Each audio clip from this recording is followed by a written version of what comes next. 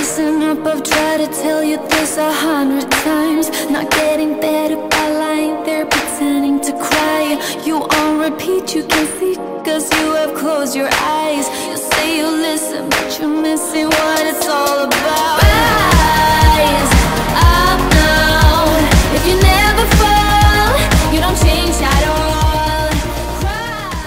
Hi, everybody, and welcome. I'm Tim, and this is Run Tall. On today's episode, I'm going to be reviewing a Max Cushion Daily Trainer by Nike. It's their Invincible Run. out now. Have you given up? I will never The Invincible Run features a fly knit upper that's really breathable and a huge slab of ZoomX foam for the midsole. But before I get into it too far, I always like to demonstrate what it looks like to run in the shoes I'm about to review for you. So let's do that. But then when we come back together, I'm going to take a real deep dive into the Nike Invincible Run to see if it's the right Max Cushion Daily Trainer for you.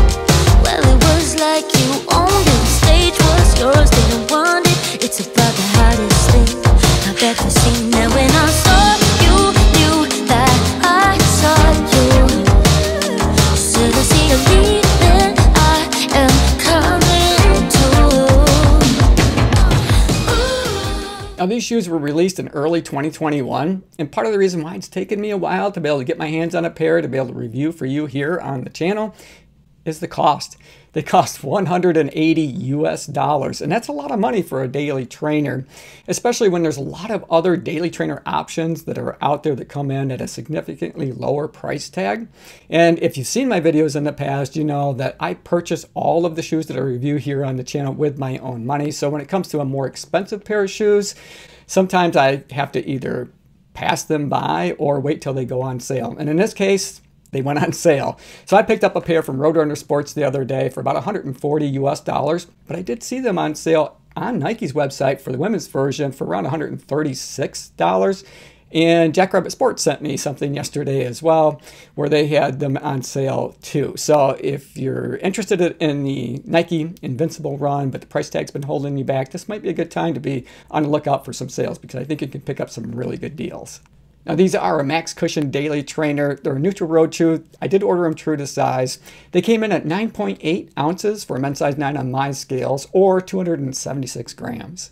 If you're new to the channel, welcome to the Run Tall family. I'm glad you found us here on YouTube. You can also find us on Instagram, or if you want to follow along with me on my daily workouts, you can join me on Strava as well. Both of those links can be found on the homepage of the channel. Now, I post running shoe reviews, comparisons, and shoe battles weekly, but I also like to post other videos about running as well. So if you enjoy watching running shoe reviews and other videos about running, be sure to subscribe to the channel and click the notification bell so you'll be notified each time that I upload new content. So I'm going to skip right to the most exciting part of the shoe, and that's the midsole. Now they feature full-length ZoomX foam from the heel to the toe. Yep, that's the same foam that they put in their 4%, the next percent, the next percent 2, the Alpha Fly, and all of those great lineup of shoes that you often see first on race day. But now they have it in the Max Cushion Daily Trainer. So what's it like to run in these? Well, first, the stack height, really tall, right? So in the heel, they got 36.6 millimeters, and then in the forefoot, they got 27.6 millimeters of all of that ZoomX foam. So they have a 9 millimeter offset from the heel to the toe. It's really soft and bouncy to run in. Unfortunately, it's also a little bit unstable, so going around corners can be a bit tricky. But for a Max Cushion Daily Trainer, they have probably the most energy return that I've felt so far in all of the Max Cushion Daily Trainers that I've reviewed this year. So lots of energy return to really kind of bounce and help you move through your gait cycle just a little bit faster. Now, for the platform, really super wide.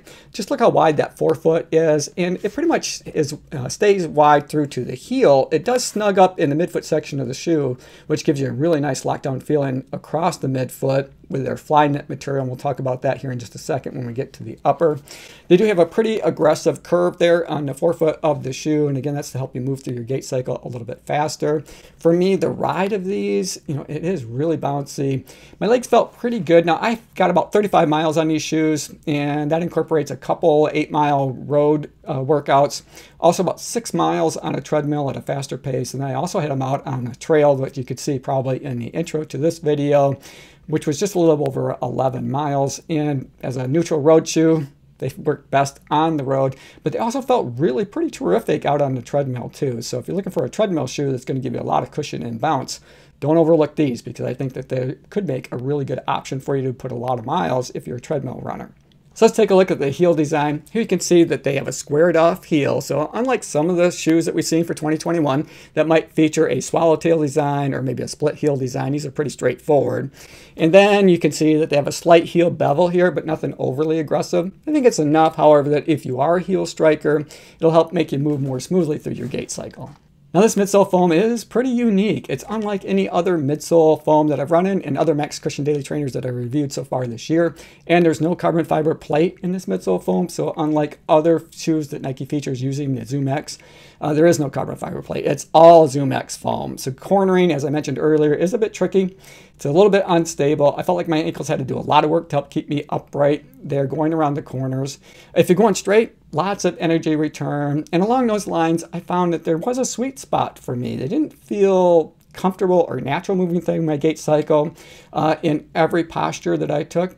But when I found that, or I found that when I was landing more towards my forefoot of my shoe, so you know, that section where your midfoot kind of meets your forefoot, right there, right at the curvature, I was moving pretty smoothly through my gait cycle and it felt pretty effortless, like I could just go for miles and miles and miles really comfortably.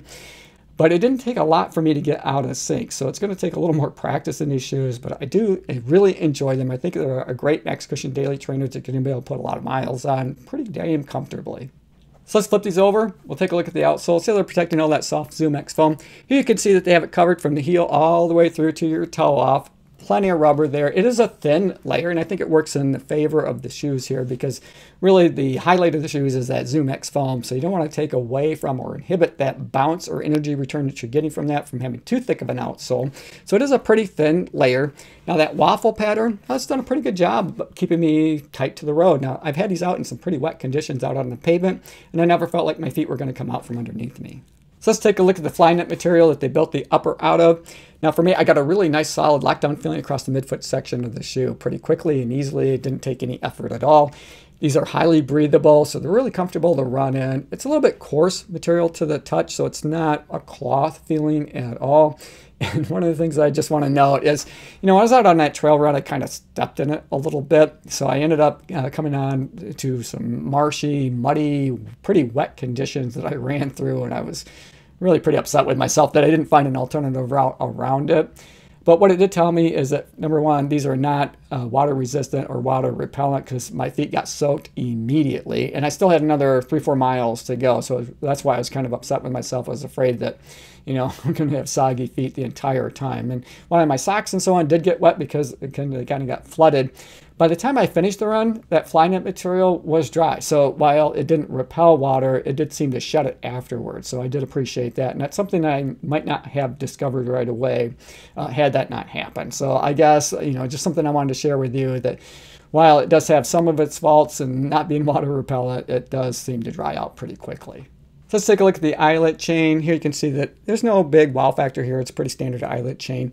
Nike did send these big wide laces. They're the widest laces that I've seen in shoes so far in 2021 or maybe ever. I don't know. They're pretty, they're pretty darn wide and they are a little bit short. So if you want to double knot your shoes, it's going to be just a little bit tricky to do so. They do have that extra eyelet to run with a runner's knot. So especially if you're running with the runner's knot, your laces do seem a little bit short to be able to get that second knot in for safety.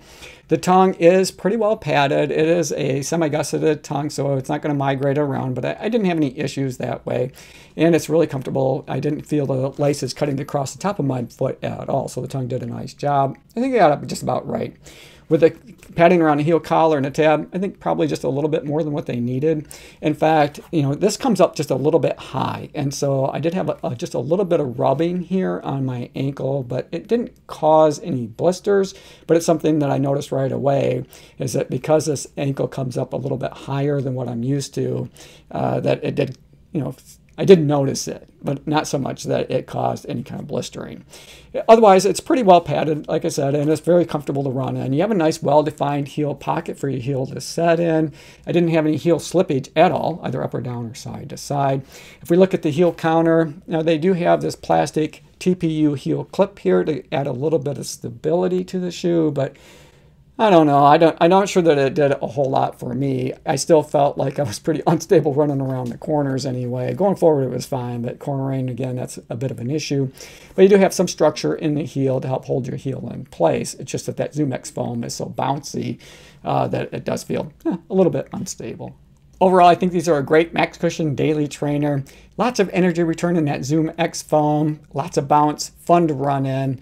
I think they're a little bit overpriced at 180 US dollars, but if you can find them on sale, I say definitely go for it. Just be careful on the corners. Thanks for making it to the end of the video. I hope you enjoyed it. I enjoyed making it for you. As always, run tall, run strong, be kind to one another. Thanks for watching, and we'll see you next time. Hey, listen up, I've tried to tell you this a hundred times. Not getting better by lying there pretending to cry. You on repeat, you can see, cause you have closed your eyes.